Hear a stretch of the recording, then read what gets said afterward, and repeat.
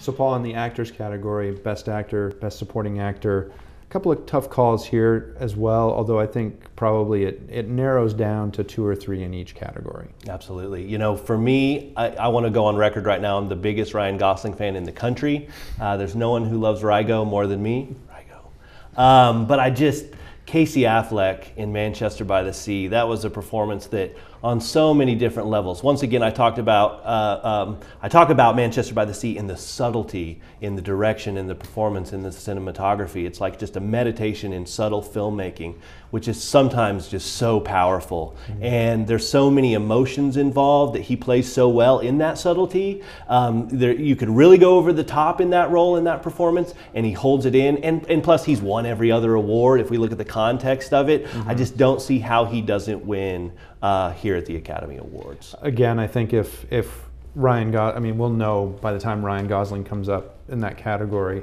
how La La Land has done. But again, if there's a sweep, Ryan Gosling's going to be part of that sweep. I uh, I I think the only real competition though on uh, the level of the performance for Casey Affleck, who I also think is is the front runner, is maybe Denzel Washington uh, in Fences because that is, as you said, with Viola Davis, an actor's film. Yep. What about supporting actor? Supporting actor, it's Mahershala Ali for me all the way in Moonlight.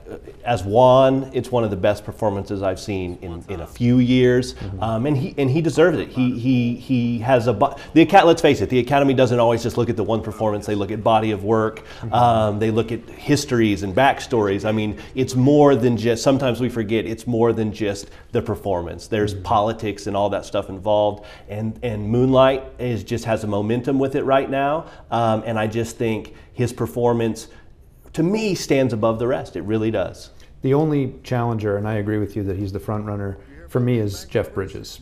Hollywood loves Jeff Bridges. The Academy loves Jeff Bridges the last few years. Uh, it is a good performance in Hell or High Water, and that, that might be the only chance that film gets to be awarded, uh, as good as it was. But at the end of the day, he is sort of just playing Jeff Bridges. Yeah. Um, and so I do think that uh, pound for pound, Mahershala Ali's performance is the better one. Absolutely. In Hell or High Water, filmed in my hometown. Eh, that's another film that's in my heart, just a, a beautiful film. Um, but Jeff Bridges is doing Jeff Bridges, and mm-hmm. I just mm-hmm. feel like we, we awarded him for that in Crazy Heart, right? Mm-hmm. And so it's just like with a performance, uh, with an actor uh, like Ali, it's, it's hard to award an actor who has just been doing it. And don't get me wrong, I love Jeff Bridges. He's mm-hmm. incredible. Mm-hmm. But at the same time, I feel like going back to the politics of it, they're like, we've given him one, let's mm-hmm. give somebody else a shot. So I really see that coming home and being one of Moonlight's, I think, multiple awards on Oscar night.